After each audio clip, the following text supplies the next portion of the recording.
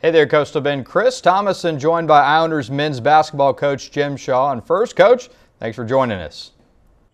Thanks, Chris. Thanks for having me again. Appreciate it. Yes, sir. All right. Well, Islanders coming off a couple of road wins, a big one against Lamar, 75 61. Pretty dominant performance there, and also an impressive offensive performance and a 91 79 win over Houston Christian. So, coach, first question for me is out of those two games, you know, what impressed you the most?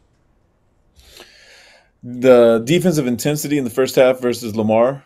I think the guys were really locked in. They understood what was at stake in that game, and uh, they were connected. They were talking. They were definitely uh, they, they, were locked in to get getting stops on uh, on as many possessions as possible. Lamar is a really really good team offensively, they're the as far as points per game, they were the best team in the in the in the, Southland Conference. So that was impressive there. Offensively versus Houston Christian, I thought the guys shared the ball, got the ball, uh, you know, close in close in, uh, and we had I don't know quite a few points in the paint versus Houston Christian. So just following the game plan versus them um, was was proud of the guys in that regards. Absolutely. So you guys have an, unusual schedule this week. You've got three games in five days leading into the Southland tournament. Now, albeit these are all home games at least, but does that present any kind of different challenge in the practice workload that you put the guys through? For sure. You got to be cognizant of the fact uh, that we will have three games in five days, which is very unusual at this level, and especially at the end of the season. Um, maybe you'll, you'll come across that early in the season when legs are a little bit fresher, but or more fresh. But so we definitely going to have to to dial it back a little bit in regards to practice time, the amount we're on the floor, and the guys are on their feet over the next three days before we have homecoming on Saturday versus Southeastern Louisiana. Yeah, absolutely. And, you know, just like you mentioned, the, having the, the one day between each game, which that's not necessarily new. You do the Saturday, Monday schedule, but now having that back to back, you know, that's that's got to be pretty tough, like you mentioned, on the guys this late in the year. For sure.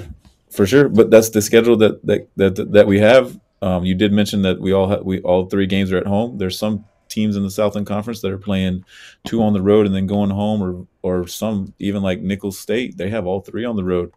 So you got to look the silver lining a little bit and look at the positive that all three games are at home in the American Bank Center in front of our fans, and especially one of them being homecoming, um, where um, the the alumni of this great university will be back and, and, and cheering us on.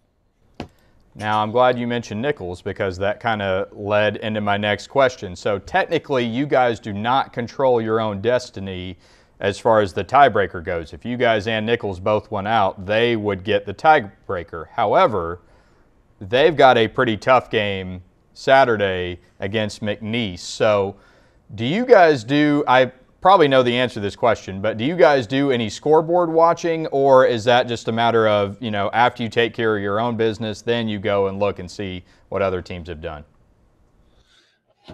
Yeah, we we we uh, uh, you know we just play the game that's in front of us that day, and then you know afterwards, you, I'm sure the guys are on their phone at the looking on on the uh, on the apps that that give scores um, and, and, seeing you know they're locked into what's going on with the rest of the rest of the team. So we'll play the game and then we'll see what's happening. It's not uh, it's not like this past season, game 162, where the AL West uh, you know had all different scenarios uh, at the end, and the and and, and uh, the Astros were able to pull out the AL West championship. But so they're scoreboard watching to a certain extent, but it's not actually you know during the game like you would see in maybe a major league game.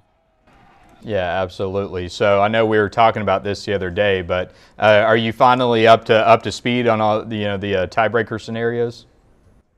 Yeah, uh, with your help, with your help, um, you know, um, we'll see. And we're even though it's only a week away from being the end of the regular season, we're still three games. That's a, that's a lot of games. Usually that takes you know a whole seven to ten days to, to play those three games. But uh, so there there could be a, a, number of different scenarios. But we're looking forward to playing um, southeastern Louisiana on homecoming.